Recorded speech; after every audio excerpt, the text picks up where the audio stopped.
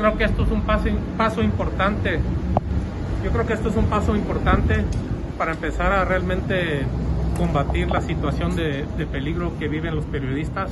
Tenemos que llamar a cuenta a la autoridad que combate la impunidad en los casos de, de asesinatos a periodistas y este y realmente que el presidente esperemos que la fiscalía eh, pueda dictar los este los ah, las condiciones para el que el presidente este, se abstenga de amenazar, de criticar, de estigmatizar, uh, descalificar a los medios. Eso no puede seguir sucediendo. El mensaje que viene desde arriba tiene que ser un mensaje de respeto al trabajo que hacen cada uno de ustedes. Y por eso estamos eh, tomando esta acción. Esperemos que todos nos puedan apoyar porque algo tiene que cambiar.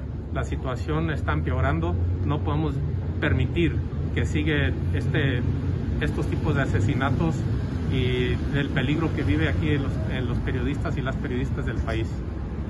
¿Confías en la TGR plenamente a pesar de que es un órgano autónomo? Bueno,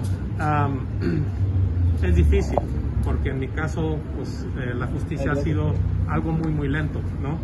Entonces, este, yo más bien confío en los ciudadanos de México, en el trabajo que hace cada uno de ustedes como periodistas, de que vamos a poder llamar a cuentas y que se actúe de forma correcta en esta situación.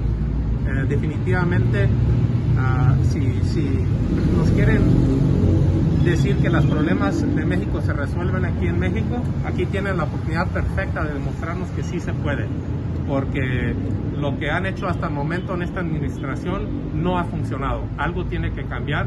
Esperemos que sí funcione esto y no tenemos que eh, ir a, denunciar este, a, instancias internacionales, porque eso sería el siguiente paso.